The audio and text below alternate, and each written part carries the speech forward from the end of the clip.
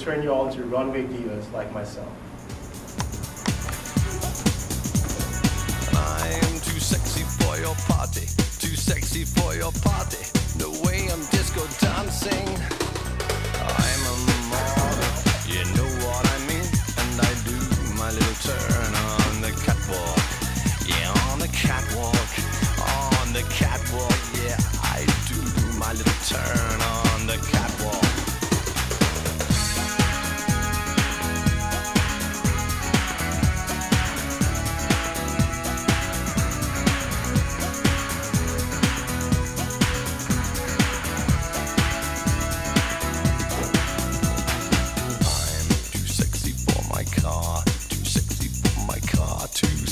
sexy by far.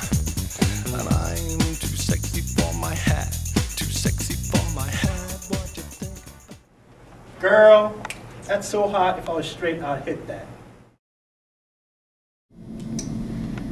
Um, Ginger, Um, yeah, baby. I just wanted to let you know that this morning when we were in the Clinical Competency Center, Yeah. the CCC, I noticed that your sexual history sucked. You and were I watching just, my sexual Well, I was, and I thought you could use some help, you know, some pointers. I thought maybe you'd like some. I've had an EH in every clinical skills exam I've ever taken, and so I I, thought wanna tell you maybe. something. You're I, fat. No. You're fat. Oh, oh. Oh, I said it. Your BMI is probably like 20. Hey, give me that tiara. give me that. Today, Ginger and I got in a fight, and I don't know why because I thought I thought she was friend here, and she's not. And she's not. I thought I thought I could help her, and she doesn't. She doesn't even want my help.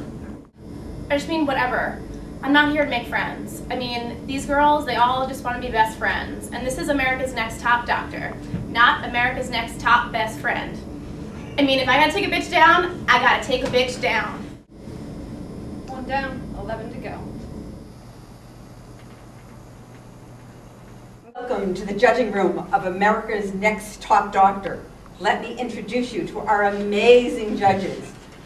Runaway diva extraordinaire, Miss J. Alexander, and top fashion photographer Nigel Barker. And finally, our top supermodel, Janice Dickinson. Six beautiful doctors stand before me, but only one of you can continue on to be America's next top doctor.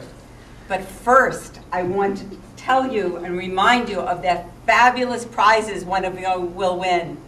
First, an extra month of learning to teach, teaching to learn. Next, $200,000 in debt. Yes. And finally, an entire 12 months of Q2 call during your intern year. Just what I've always dreamed of.